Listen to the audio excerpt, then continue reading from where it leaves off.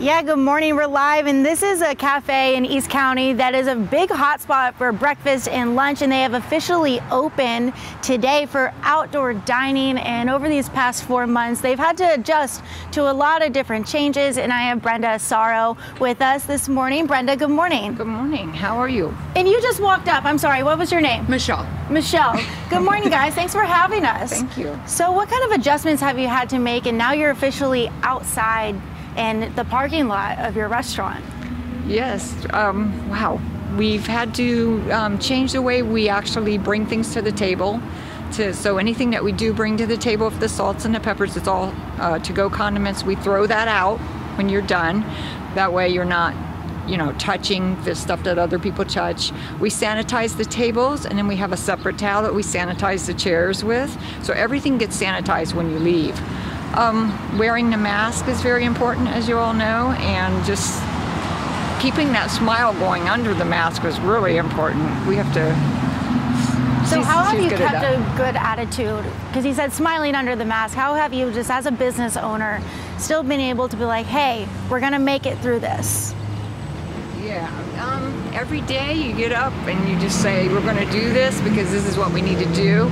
And obviously, every time there's a change, you kind of you know, go, okay, what all do we need? I kind of make a little list of what we need to do, but we do it because it's it's our customers love coming here and we want to keep that customer base coming back. So we make those changes. We want them to feel comfortable. We've definitely spaced all of our tables, you know, out six feet. So we mm-hmm. do every day you just get up and you keep going. yeah. Well, Michelle, as an employee, uh, Michelle, right? Yeah. As an employee here at Cafe 67, what's it like for you to be serving people outdoors now and for as an employee at a restaurant just all the changes that you have to go through as well. It was definitely an adjustment but you know with like working in a business that you love so much you'll do anything to keep it open. I love working here. I've worked here for years now so anything that we can do to bring people in and keep it open doing that outdoor dining making that change made a huge difference for us and if we can keep that going that'd be great you know We were talking with Steve earlier, and he said that all of the employees and people that come here are family. What does that mean to you to hear that from him?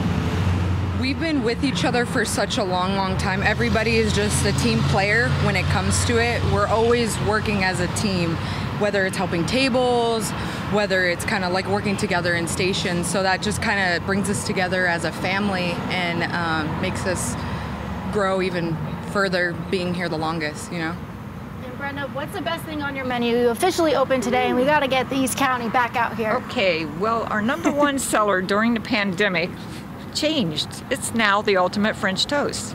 So that's a French toast that we take and we dip in egg bread and we grill on the grill and then we throw strawberries and whipped cream on top.